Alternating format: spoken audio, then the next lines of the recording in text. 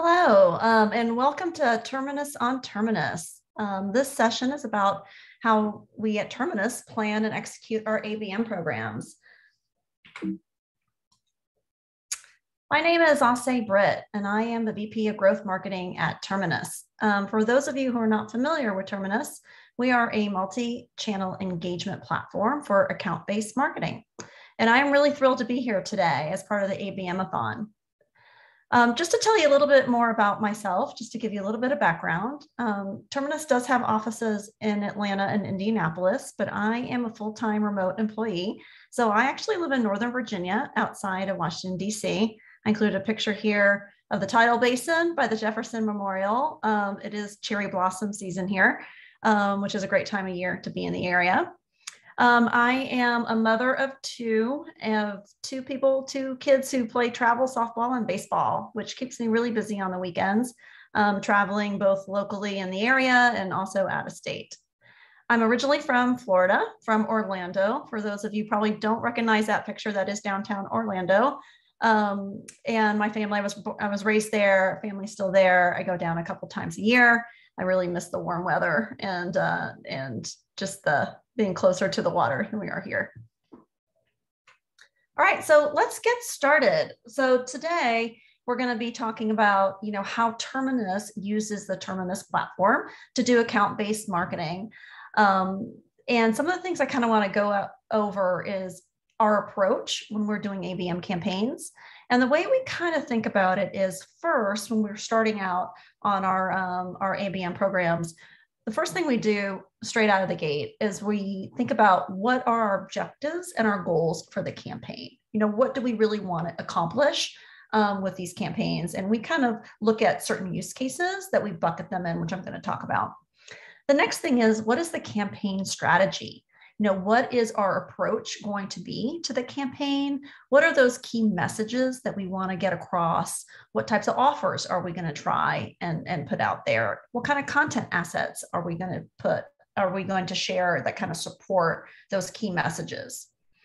And then next is a multi-channel engagement plan. So this is the part where I think is the most fun when you kind of think about, okay, now how am I going to distribute this content? How am I going to get my message out there and reach those targeted accounts that I want to go after? Um, so we're obviously big proponents of taking a multi-channel approach. We know that people don't get their um, information just from one sole source that they need to hear it multiple times and from multiple different directions before it really sinks in. So I'm going to talk about what some of those channels are that we leverage for our own ABM campaigns. And it, interestingly, it's a mix of digital and also offline as well. Um, and then we're going to talk about execute, measure, and optimize. Um, so now that you have your plan together and your strategy, it's about execution. How do you kind of get that out there in the world? How do you measure what are the KPIs that you should be thinking about um, in seeing if you're driving success against those goals that you set out. And then this optimization side of it, tweaking it, trying to drive more engagement um, in terms of eventually, you know, reaching those goals that you have set. And then I have an example at the end um, of a campaign that we ran at Terminus that kind of shows you how all this kind of comes together and how we kind of leverage um, this type of framework in terms of doing our ABM campaigns. All right, so let's get started. Um, so before we dive too deep in this, this is an advanced ABM course. Um, I'm sure folks attending this session probably have already, you know, done some ABM campaigns um, or are, you know, well seasoned in terms of, of doing various types of programs. But I just wanted to set some assumptions that I'm going to be making um, as we enter into this, so we're not, you know, getting down to the basics. One is that you've already established an ideal customer profile for your organization. Um, second is you have marketing and sales alignment on your ABM go to market strategy. And then you have the resources in place to execute an ABM program. Now, this resources is both you have people within the organization that are putting together the plan and the strategy but you also have a program budget you know to take advantage of the multi-channel programs that you want to do now some of those things may not cost you any money or you can leverage you know some um, tools and stuff that you've already paid for. Um, but some of them are going to have variable costs associated with them, especially when it comes to the advertising side. Um, so you want to make sure that you have some of those things in place before you get started. Now, one of the things I always want to share with people is you can really grow and scale with ABM. You don't have to do all the bells and whistles straight out of the gate. Um, it might seem a bit overwhelming to some folks um, who do that. You can really kind of start small and build on it. So you don't need a huge budget um, or a ton of internal resources.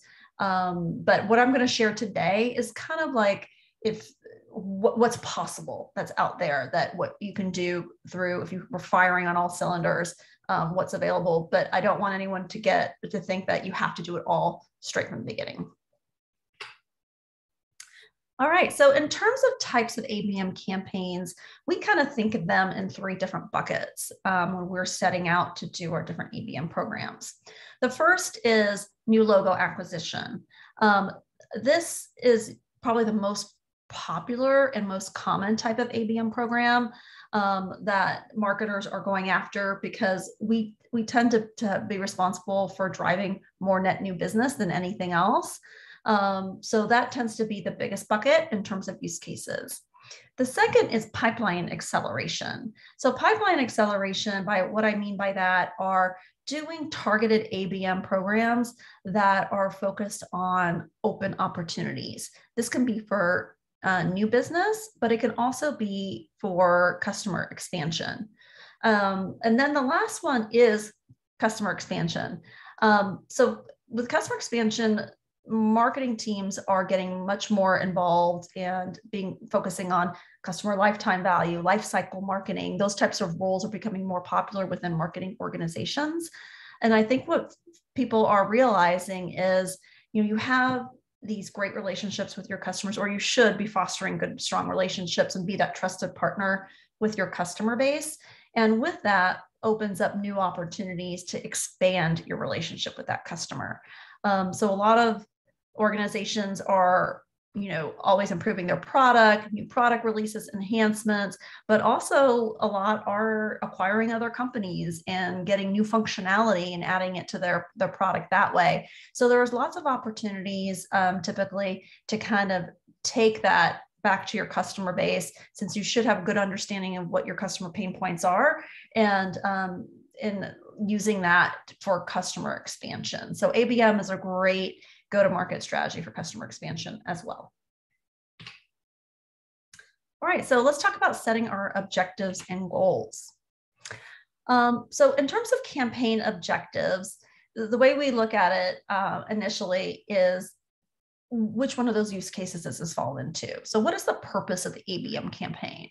And we kind of tag it to one of those three, new logo acquisition, pipeline acceleration, or customer expansion. And then the next thing is what are your campaign goals? And we think about these as primary and secondary. So the primary goals are these are the really the, the uber goals that you want to accomplish with your abm campaign these are the kpis that you're going to report um, up into leadership sales leadership marketing leadership um, so it's really what you're trying to do in terms of moving the needle and for us it's very closely tied to revenue so we want to make sure that our ABM programs are driving revenue. And so, but to do that, we measure how many qualified opportunities um, were generated from the campaign from these targeted accounts, what kind of pipeline um, was created from it, and then how much of that was closed won revenue. And then for pipeline acceleration, just because it's a little bit more nuanced, if it's pipeline acceleration, then these are already open opportunities that are in pipeline. So obviously you're not creating those, but you do have an opportunity to impact the sales cycle, making it faster. Um, and then also increasing the opportunity size. So as you're kind of nurturing these opportunities, through their opportunity journey through these ABM programs, we have seen opportunity sizes increase with that. Um, and then there are secondary KPIs. And these are the types of KPIs that really the, the person managing the campaign is monitoring. So these are your ABM managers, um, who, who, are looking at it from the marketing standpoint and making sure you're driving that account engagement because that really is, is the first step is are you getting engagement within those accounts that you really care about um, and then opportunity conversion so say you have 100 accounts that are in this abm campaign and you have 70% engagement which is excellent you want to generate opportunities out of those 100 accounts. So, what are you doing in terms of like the conversion rate of driving those opportunities? And then also your creative engagement. So, these are the types of metrics of if you're running targeted display ads, what kind of click through rate are you getting on those targeted ads? If you're doing any kind of sales um, engagement using tools like a Outreach or a SalesLoft, VanillaSoft, if you're using any of those, like are, are, are you getting engagement? Are you getting responses from those emails that you're sending? Um, and this is all to really do that ongoing optimization during the account during the um, the course of the campaign. Um, we always we definitely see fatigue that happens on display ads, especially if you're hyper focused and say you're only going after 100 accounts. Well, if you're only going after 100 accounts, those 100 accounts might get tired of seeing the same ad for two months.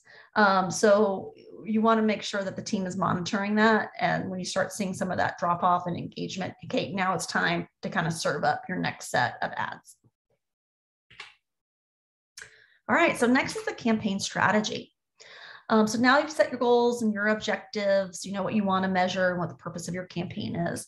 So now it's about, okay, then what's your strategy? How are you going to achieve those goals? Um, so the first step is your target audience. Um, so who are you really trying to reach with this campaign?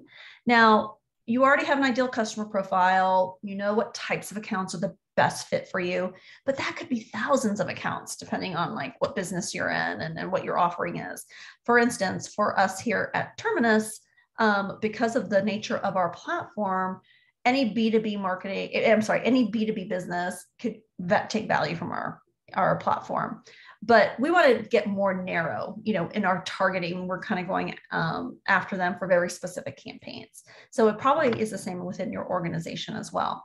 So some of the other things that you want to consider for your individual campaigns that you may want to kind of fold in into your um, programs in terms of really kind of narrowing down that targeted account list per campaign is you know weaving in intent signals so if you have a particular, say, feature or product um, within your portfolio um, that you're really trying to promote um, with this campaign, then you want to look at intent signals that are showing that they are actually in the buying cycle or there is some level of interest in that particular subject matter, in that aspect of your product.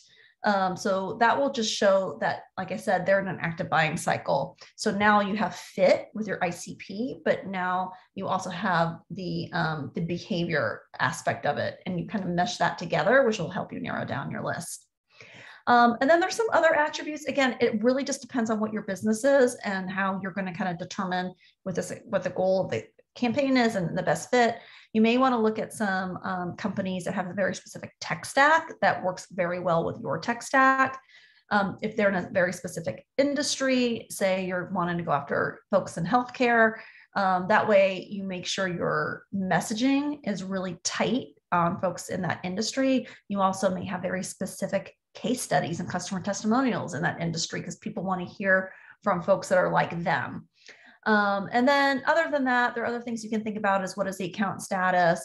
Um, are you going after somebody who may have a competitor that you're trying to displace? So these are the, some of the other attributes that you can weave in for your target audience. And then the next one is persona. Um, you want to make sure that you have a good firm understanding of the personas that you're going after.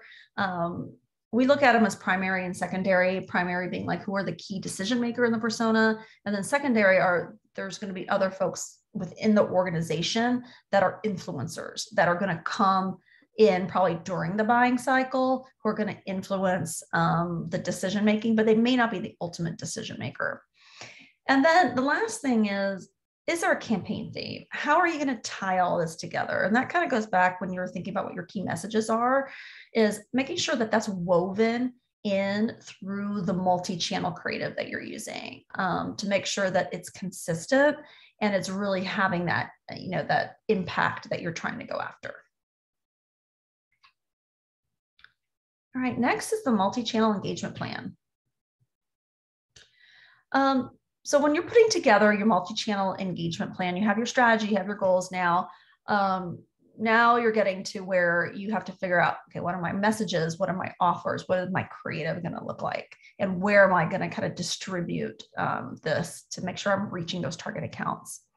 So when thinking about your key messages um, some things to take into account is you really want to focus on the pain points of your customer and your prospects. Like what problem are you trying to solve? What kind of benefits are you bringing to the table? How are you helping them do their job better and achieve their goals. That's the type of messages that are really going to kind of resonate with them. Um, also, are there new product capabilities that you want to promote that maybe people don't know that you have that you offer now as part of your platform or your offering? Um, one of your key differentiators, you know, could be stellar customer support. Um, so that's another thing that you can think about in terms of your key messages like what kind of differentiates you? What sets you apart um, in terms of what you can do for, for those customers? Um, also you know what's new with your company? I put that in here because if you're doing say like a win back type of campaign or um, going after close lost opportunities from before they may have looked at you but they may not have looked at you in a year so there may be a lot of new things that, that these prospects may not be aware that you offer now. Maybe they didn't go with you because you didn't have it at the time. Um, so that's something else to keep in mind. And then how you compare to the competition. Um, you know, what kind of sets you apart? How are you different? Why should they choose you over the competition? And then in terms of offers, there's all kinds of different offers that you can, you know, put out there to drive that account engagement. Because um, I think one of the things with ABM is it's not so much about driving the individual leads and con, you know, um, from it. It's about really getting engagement from those accounts. I think for those of us who work in B2B, um, we understand that buying committees are getting bigger and bigger. More people are involved at some level in the decision making process. So we really need to kind of reach and influence multiple people within organizations um, so that account engagement is really key. And you can do that by offering all kinds of different content assets in terms of educational, um, depending on where they are in terms of their maturity curve and, in the types of, you know, whatever the product or service that you're offering. Um, then there's also more bottom of the funnel type of offers that you can offer, like a free trial, like a demo request. Um, if you do proof of concept type of things. You know, you could put things like that out there.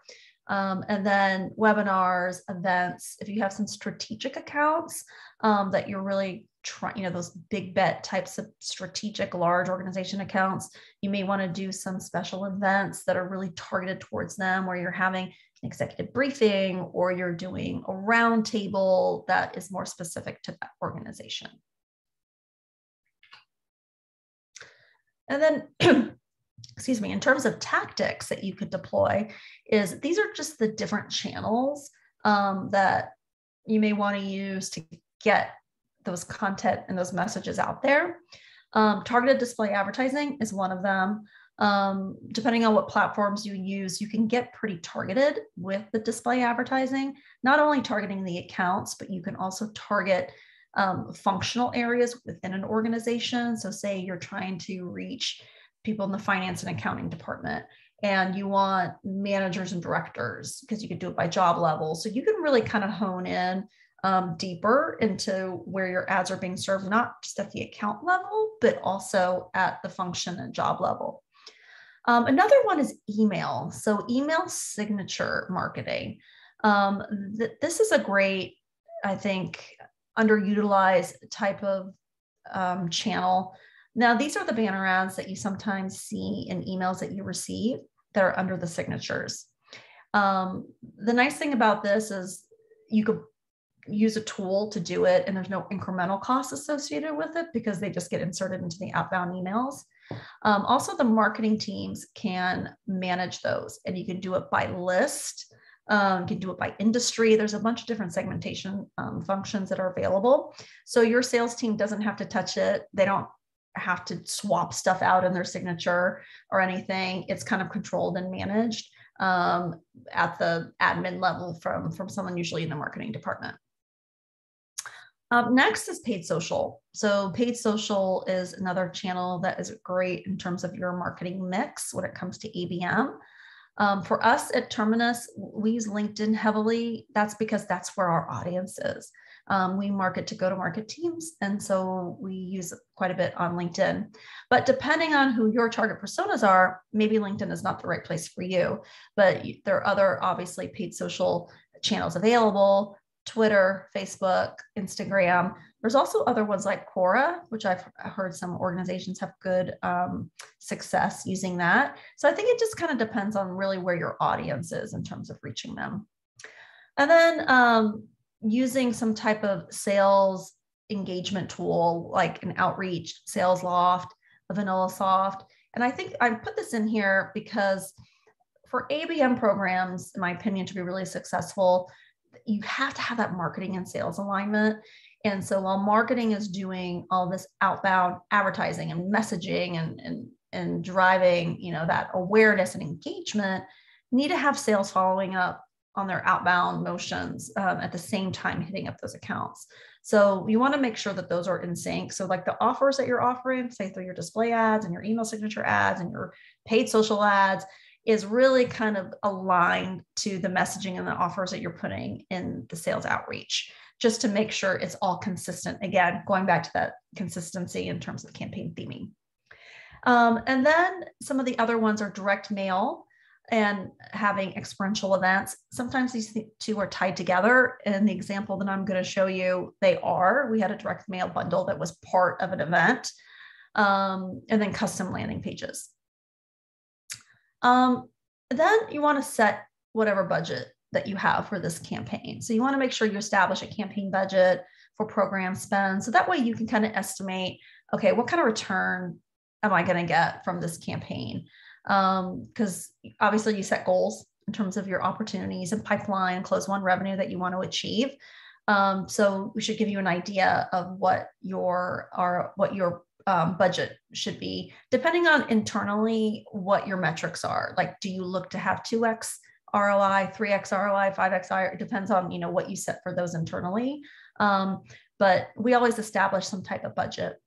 Um, now, some of these items, like I said, are initial outlay, fixed costs. So if you have an outreach or a Salesloft, you've already paid for that, right? There's no incremental cost when it comes to that. With email signature, you buy a tool that, that kind of does that. There's no incremental cost, but you're going to have others that are. Some of those that I listed here are your display ads. You can have some media spend associated with that and paid social, direct mail to get that executed. You know, all the items that you're sending, you're going to have expenses with that. And then if you're going to do any kind of events um, as well.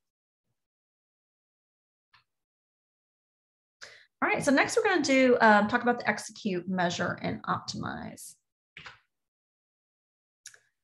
Um, so in terms of execution, one of the things that we do with our campaigns is we really create a work back schedule. So many of you marketers, if you've ever had to kind of you're familiar with this you're you have a target launch date for whatever program you're going to run and then in order to kind of you need to kind of lay out all the project management all those steps and tasks you need to get done and build in those time frames um, in terms of getting it done getting the feedback that you need um, from whatever internal stakeholders need to do any kind of reviews. And that will give you a better picture of when you really need to launch these things.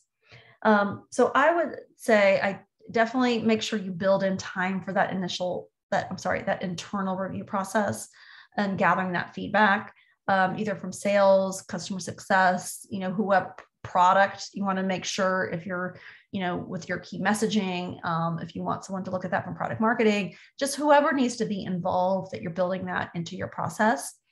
I will say one of the things that we have learned over the last year um, during the even really during the pandemic um, in doing direct mail, and I think we've all felt um, the impact of the supply chain issues that we've had personally in our personal lives, but also in business too. Um, so that has caused us to really have to kind of add a buffer when it comes to our direct mail. Um, even if we're like procuring items that we're going to put in our warehouse or um, we're doing drop ship, we have to really build in some little bit of extra time um, just to make sure things are getting there um, in, in, time for whatever you know event or thing that you're doing. Um, next, deploy your tactics. Um, so depending on your schedule, like not everything has to launch on day one. Um, you can do a rolling layout. Um, so if some things aren't quite ready yet, you can, you know, you don't have to necessarily wait for them. So sometimes we will start running ads to our targeted accounts a week or two before our sales and our SDR team starts their outreach, just to kind of warm the accounts up a bit um, before you know they start doing their outreach efforts. So that's just something to keep in mind. Um, and again if you're having different benchmarks if you're running like a, a three month campaign um, that you could you know you could do that. Um, next you want to make sure that you're having those those key check-in points and breaking it out into phases for your ad refreshes. And that's what i just meant like make sure you have a tickler on your calendar or whoever your ABM manager is. Every like three weeks, go in there. Let's make sure if they're not checking it more frequently, they probably are. But let's just see how the click through rates are doing. Let's see how those sequences or cadences are performing. Um, if you're doing any A B testing, you know, which one's doing better. And then um, that will just let you know if you're starting to see some fatigue or if you were testing, say, a subject line in a particular email, it's just not doing as well. So you might want to turn that one off. Um, and then measure. Uh, you want to make sure that you're measuring your success. Obviously, you want to build a scorecard uh, with your primary KPIs. And then you want to make sure that, like I said, the marketing team, whoever's managing the campaign on a more day by day basis, is monitoring those secondary KPIs. Okay. Um, and then you want to optimize. Um, so even though it's in progress and it's running, I know when we run our campaigns, um, we run them, you know, at least for a couple of months, if not longer. Usually it's by quarter, if not, you know, depending on the size of the account, it could bleed into two quarters. Um, I think it really depends on your organization, your sales cycle, um, how long you want to run these campaigns. Is I think it's kind of it depends on the organization and the product. Um, but you can optimize, like I said, during the campaign if you're making sure you're monitoring those metrics just to make sure that they're driving the, that engagement that you're seeking.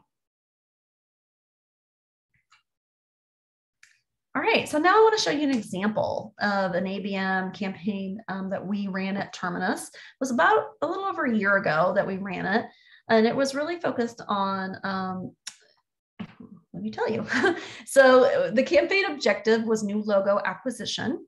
Um, and our primary goals were driving obviously qualified opportunities pipeline and closed won revenue.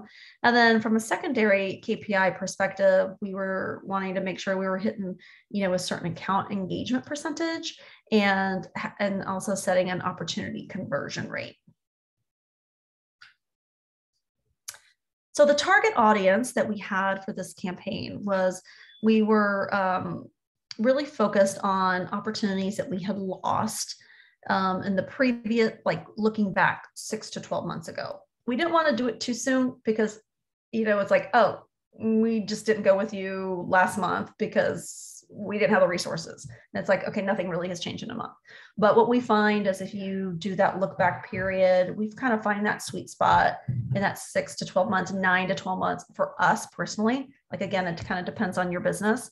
Um, and we narrowed down the close lost um, reason codes because we wanted to get more targeted in our messaging and keep it really crisp on um, why we were reaching out, why we wanted them to give a second look, why we thought now was the time.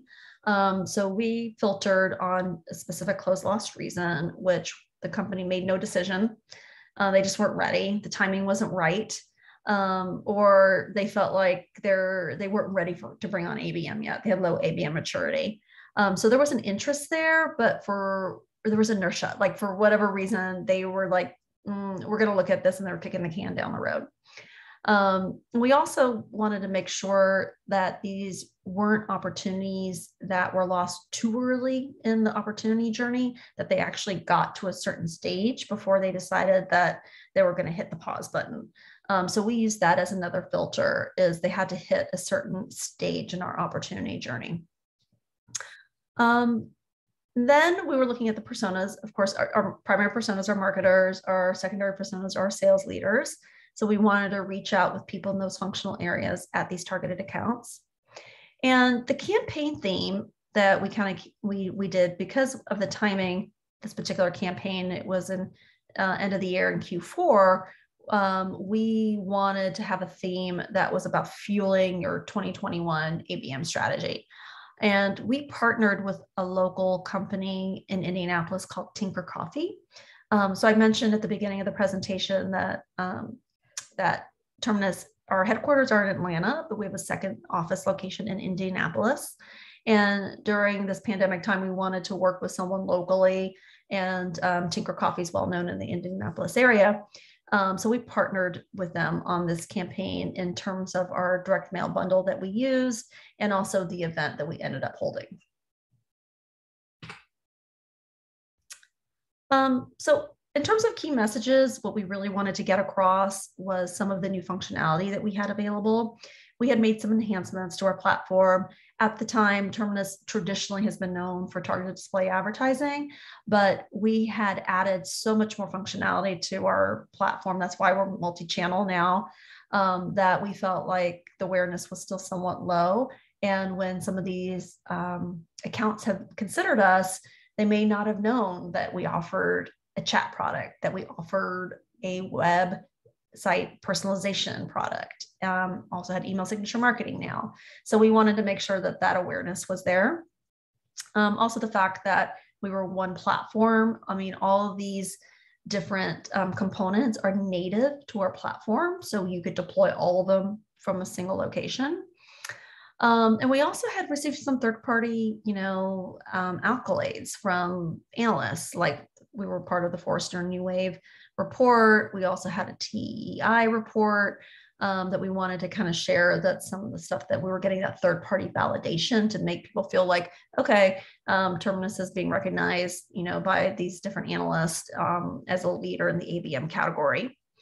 Um, and we had just issued a state of ABM report. This is an annual report that we create, and it had gotten released just about a couple months before we, we did this campaign.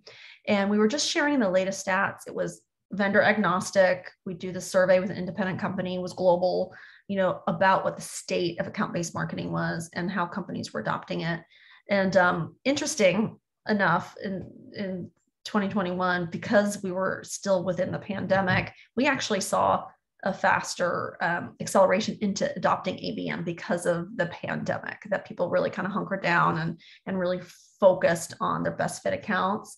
Um, and the state of ABM report was showing that.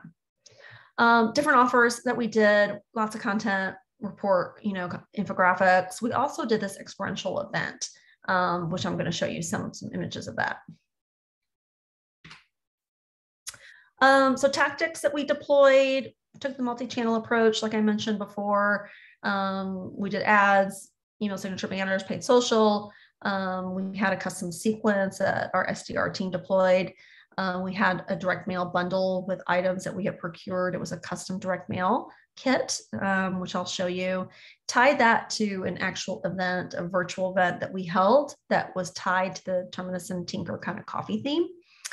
Um, and then we had a custom landing page that we were driving everyone to. Um, in terms of budget, those expenses that we had, um, the variable costs, we set a budget for ads and paid social, also for the direct mail and the fulfillment for the um, for the items. Because the event was actually held, um, the folks over at Tinker Coffee actually did the event. There was no charge for that because we were partnering with them in terms of the items that we'd also procured for the um, for the, the kit that we had sent. Um, I just wanted to flash up. This is a example of the work back schedule that we did. Pretty simple spreadsheet, just kind of starting like when you want to launch the campaign, what are the different aspects and the pieces that need to get done, and just doing like listing out step by step when it needs to get done. So that way you can quickly see, oh my gosh, okay, we need to start this two months, you know, ahead of time um, in terms of at least this aspect of what we were doing. And you'll see things rolled out at different times. Um, so like I said, you don't have to do everything at once. You can kind of start with the ads and the email signature ads, you can do paid social, um, and then have that date for your actual physical event. Um, so here are some of the creative that we shared um, during the event. Like I mentioned, one of the content assets we did was this interactive um, infographic that we hosted. And we had ads to these targeted accounts that were driving you to this interactive landing page with the infographic. These are all also some of the ads that we use to promote some of those content assets. You'll see over at the right, these were some um, stats from our state of ABM report that I mentioned um, that was promoting that. And then on the left, this kind of highlights um, some of those newer channels that were now part of our platform that we were trying to get some more awareness of. Um, and then we also had a set of ads that were targeted to the event that we were running. Um, so again, Terminus and Tinker having that kind of coffee theme um, to it. Um, and we hosted this brewing event, this coffee brewing event, where we sent um, about, I think we had three different samples of different types of coffees um, with a handheld brewing device called an AeroPress that we kind of walked people through in terms of how to use it during, um, in terms of brewing the different types of coffees. So this is what the direct mail looked like. Um, we sent, like I said, the handheld AeroPress device along with a pound of a custom blend coffee that we had um, kind of procured through Tinker. And we also had a, um, a Terminus, you know, insulated mug as part of it. And then up in the upper right is just kind of an example of, you know, one of the brewing techniques that we used during this event. Um, we wanted to try something that was a little bit different. We've also done some like wine tastings, mixology events that have also been very popular. Um, but this was just a different kind of spin on it um, for those folks that are coffee lovers. And, and we also we did it, I think, during during the day, earlier in the day, which sometimes those cocktail hours you have to hold to the to the evenings. And then here is an example of the ABM scorecard that we use. Um, I mean, full transparency, this is from our Terminus platform, obviously, because this is a Terminus on Terminus session. Um, but I really like it. It's really simple and, and, and, clean in terms of kind of getting a snapshot of how those campaigns are performing. Um, so in this campaign, we had nearly 300 accounts, um, and you can see the percent account engagement. And then, um, unfortunately, I had to cover up some of the stats. Um, I couldn't quite share there, but we do track, like I said, the number of opportunities that were generated, how many were closed won, the pipeline created. And then you could also easily drill down at each of these account segments because um, you can pull them by list. So at the top, you get the overall view of the campaign. And then on the bottom, you can include all these specific account lists that you use. So you can segment them, you know, how granularly that as you like and then you can really look down and say okay this segment had this amount you know of account engagement and opportunities like they were driving most of it or hit lower than i wanted. And then um, you can easily kind of drill down because it's connected to your crm and then see um, which those specific accounts that were closed won or or created that pipeline.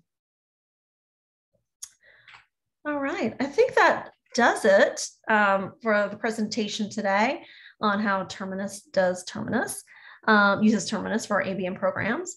Um, so I think we got a few minutes left. If there are any questions, happy to answer them. Okay, um, so the question is, how do you recommend leveraging the ABM scorecard into sales actionable steps? Um, so with the ABM scorecard, we can kind of see like, are you hitting the mark or not when it comes to those opportunities that you're generating? I would say um, what we kind of use with with sales actionable steps is on account engagement. So you can look at the accounts, say in the example I showed, we have like 60% account engagement. You can drill down and see those 60 accounts.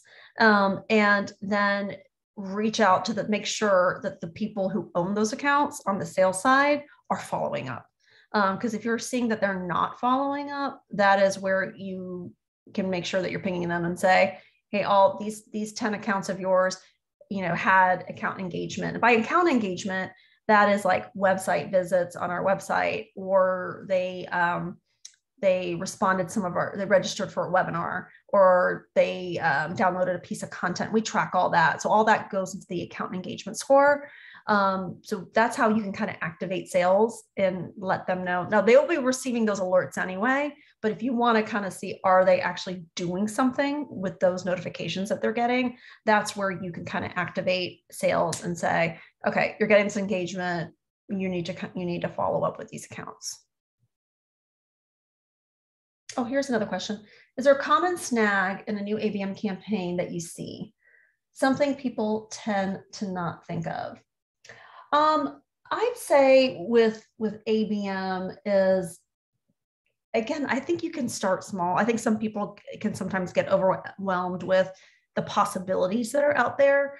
Um, so I think to get started, really kind of focus in on you know what your objective is what are those best fit accounts you want to go after.